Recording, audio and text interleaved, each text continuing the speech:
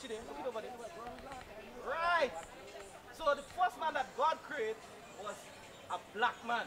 And remember, he made man in his what? Own image.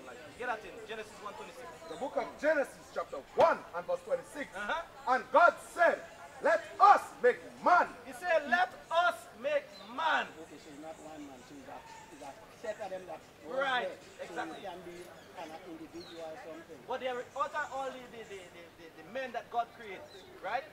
Um, there, there is a chosen, which is Adam. So that's why he give you the whole lineage of Adam. And he didn't really talk about the others. Okay, dealing with the chosen. Read.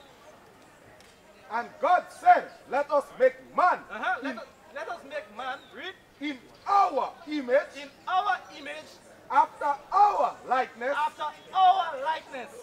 So, so if God made you in his own image, that means what?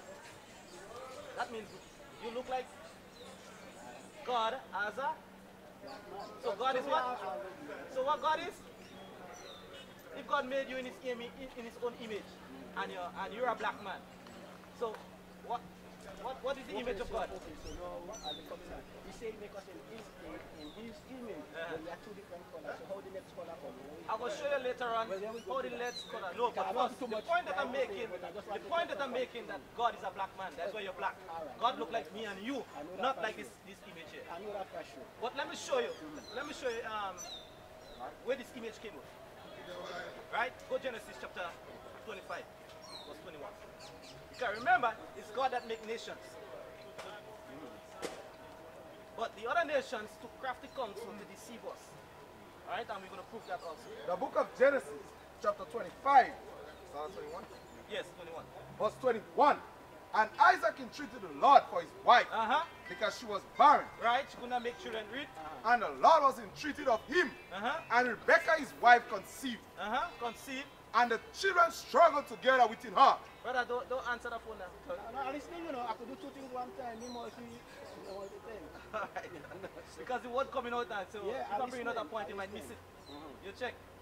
Yeah, go ahead. Go ahead. Yeah, read. And the children struggled together within her. Uh-huh. And she said, If it be so, why am I thus? So they was fighting, to, they was giving her real trouble. She had um, pregnancy, um, trouble in pregnancy in the womb. Read. And she went to inquire of the Lord. So she went and prayed to the Lord. Read. And the Lord said unto her, Yes. Uh-huh. Two nations are in thy womb. Two manner of people shall be separated from thy bowels. And the one people shall be stronger than the other people. Go back again. Go back again. Read 25. Um, Verse 23. Yes, read. And the Lord said unto her, Uh-huh. Two nations are in thy womb. So out of the two children that um, Rebecca conceiving a conceived in her Just womb. Hello, I'm talking to you, I'm listening to you, but you don't say nothing. Just give me one second. Yes, let me write that in. So I don't have it read. And the Lord